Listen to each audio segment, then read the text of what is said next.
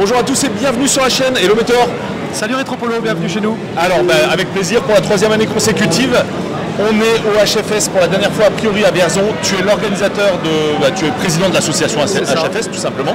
Comment c'est né tout ça? Donc tu veux parler de l'historique de l'événement euh, précisément? Voilà. En fait, ouais, donc euh, l'événement bah, il a 10 ans du coup, c'est la dixième. Et effectivement, c'est la dernière à Vierzon pour plusieurs raisons, on en reparlera après si tu veux. Euh, comment est né l'événement? En fait, on avait d'abord à la base un forum d'entraide autour de l'arcade parce qu'on est plusieurs passionnés d'arcade, euh, plusieurs potes, je dirais 5-6 potes.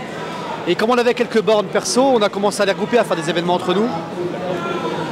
Puis, euh, comme on avait quelques dons sur le forum, on a, décidé d'organiser parce que on a décidé de créer une association en premier temps pour, sécuriser cet argent.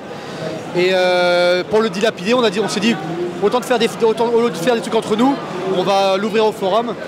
Et c'était un très très petit forum à l'époque HFS. hein. Donc on a fait une première salle des fêtes à, à côté d'ici à Vierzon, à Lury-sur-Arnon près de Vierzon, où on était so- 70 personnes. C'était en 2015. Et pourquoi Vierzon? Parce qu'en fait les membres de l'asso ça vient de partout en fait. Hein. les membres de Vierzon, il n'y a plus qu'un seul membre à Vierzon actuellement, qui était le tout premier président, non, le deuxième président, excuse-moi, qui est Michaelo, mais euh, sinon, on, on est une quarantaine, il n'y a personne qui vient de Vierzon ici. mais ça s'est trouvé par hasard parce qu'en fait, le membre qui avait le plus de machines habitait à Gien, qui est pas très loin. Et donc il y avait un autre membre dans les cinq membres qui étaient au début, dont je te parlais au début. Il y en avait un qui habitait à Vierzon et qui connaissait euh, des gens qui à la salle des fêtes qui nous ont fait une salle des fêtes pas chère. Je te dis au début c'était avec. Là tu vois des trucs, tu crois, vous croyez que c'est pharaonique moi. On, a, on a toujours très peu de moyens, mais à l'époque c'était en- c'était encore bien pire. Donc euh, on avait eu un bon plan pour avoir une salle des fêtes, que le- celle, celle dont je t'ai parlé. Donc on s'est pas pris la tête, on a ramené, euh, on a loué un camion. À Vierzon, ça fait une heure, donc on a ramené les. On a ramené 12 machines, à l'époque il y avait 12 bornes pour le premier événement, 70 personnes. Et les mecs avaient ramené leurs consoles, leurs euh, sièges de simulateur de voiture et tout ça à la cool. Et donc c'était censé être un one shot pour, euh, pour comment dire, pour euh, dilapider l'argent que je t'avais dit qu'on avait en don par rapport à notre pour- pendant qu'on notre travail. Et en fait, c'est trouvé que moi, et, enfin moi particulièrement, parce que je peux te parler de mes sentiments, mais je pense les autres collègues aussi, on a aimé ça en fait. J'ai aimé me dire putain mais en fait c'est vraiment bien d'organiser un événement, c'est vraiment cool, on va le refaire. Et du coup on l'a refait l'année d'après dans les mêmes conditions, même- salle des fêtes pareil, on a ouvert un peu plus de monde, 120 personnes, ce qui nous a donné un peu plus de moyens. Et les machines venaient toujours de l'extérieur, c'était toujours des machines privées, tout ça. Sauf qu'au deuxième on a ramené peut-être euh, je dirais une trentaine de machines, plus de bornes, il y avait Jerry Calbox qui était là à l'époque. Et euh, du coup on a payé beaucoup de camions. Et je me suis, moi, je me suis très vite dit, putain, les camions, la, logistique, ça coûte cher. Donc plutôt que payer la logistique, je préfère acheter des bornes. Et on a commencé à acheter des bornes, acheter des bornes. Et tu vois, aujourd'hui, on a 140 bornes, bref. C'est un truc de dingue. Ça s'est développé. Combien voilà. de membres, combien de bornes aujourd'hui En membres actifs, euh, je dirais à l'année, je dirais une vingtaine de gars. Mais sur l'événement, tu vois, en staff, il y, a il y a bien une quarantaine de personnes qui bossent dessus. C'est un truc de fou. Et il y a Vous pas mettez mal- combien de temps à préparer la-. Alors ça, on fait dans la- dans la- dans l'année, nous on fait euh, un ou deux rendez-vous euh, où on vient 3-4 jours au local pour préparer les machines.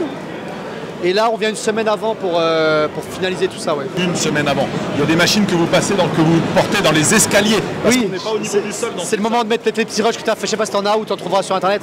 Oui, c'est ça. le C'est le problème de Vierzon aussi qui fait qu'on va, va certainement partir. C'est que le- ça devient logistiquement dur. On, on a, on a 10 ans de plus qu'il y a 10 ans. Et oui, le, les escaliers, ça marche moins bien là. Au Semeurtron, on est parti d'une salle des fêtes, on est arrivé ici au ce centre de congrès, on a fait ce pari-là pour grossir encore. Et euh, comment dire, l'emplacement est magnifique, l'outil est magnifique. C'est une super salle, vous verrez ce soir, on a une super, euh, une super salle de cinéma pour faire les finales. Mais malheureusement, il n'y a qu'un tout petit ascenseur et des escaliers, on est sur un étage pour ceux qui sont déjà venus. Et pareil, notre local, on a le local, on a environ 300 mètres pour aller charger les camions, donc on se traîne les bornes. Ici, on se retraîne les bornes, donc l'installation et la désinstallation sont très très très fatigantes. Oui, il y a des bornes 4 joueurs avec des motos, tu sais, le Manix TT, enfin des trucs C'est ça, c'est des là. machines. Darius aussi, 4 joueurs. Là, là, on l'a pas amené cette année par justement par fatigue. la Darius, la, la Elevator Action qu'on a pas amené cette année, des grosses machines qu'il faut porter dans les escaliers à 7-8 personnes et malgré ça on est très fatigué. Donc euh, donc on a choisi, enfin on a choisi, il y a plusieurs critères qui font ça et d'autres choses qu'on en a parlé de l'année dernière, le fait qu'on n'aura plus notre local à la fin de l'année. Il y a plusieurs choses qui font qu'il est temps de, il est temps de passer à autre chose que Vierzon Il y a malheureusement. des facilités de stockage jusqu'à maintenant. On a eu cette chance d'avoir un stockage qui nous a permis de grossir aussi un stockage qui est quasiment gratuit ici à Vierzon. On a eu cette chance d'avoir un, un prêt dans le local. Mais malheureusement, cette solution va, être, euh, va, se, va stopper en fin d'année. On a eu un deal avec euh, une autre ville. Je peux dire du coup, on aura la, il y a la ville d'Evreux. En fait, si tu veux, on, a, on, a, on aime beaucoup Vierzon. On a eu beaucoup d'aide à Vierzon.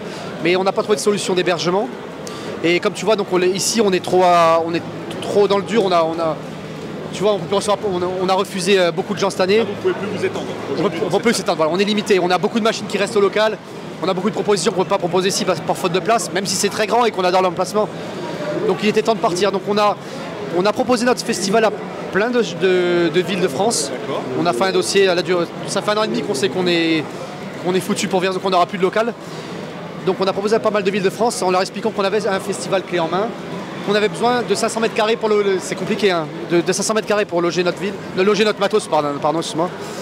Et euh, il y a la ville d'Evreux, Évreux qui est, voilà, vous voyez Évreux c'est entre, entre Rouen et Paris, qui, qui a besoin de ça, qui, c'est- qui- qui nous a proposé une solution vraiment, euh, vraiment bien, avec un local très bien. Ils ont des solutions pour, euh, pour la- l'avenir du summer qui seront très différentes d'ici, qui vont demander des adaptations, mais on, on va le faire. Excellent.